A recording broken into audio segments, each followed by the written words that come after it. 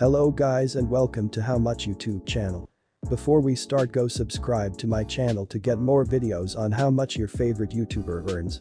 And click on the bell icon to get all notifications and never missing any new video. Now let's get started. So how do YouTubers get paid?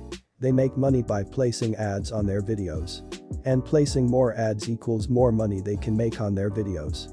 The second thing is CPM it means the cost per thousand views.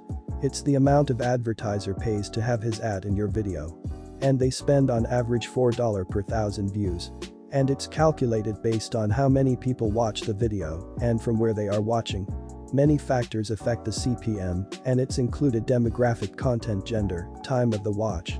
YouTube also will take 45% of your ad revenue from the advertising. Now let's go over Pasta Grammar channel analytics. Total subscribers 147,000. Total videos 64 videos. Total views 12 million.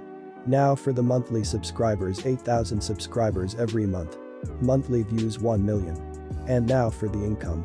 The monthly income will be 1 million views multiplied by 0.002 equals $2,000 every month.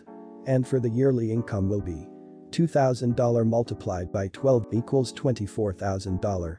Thank you guys for watching.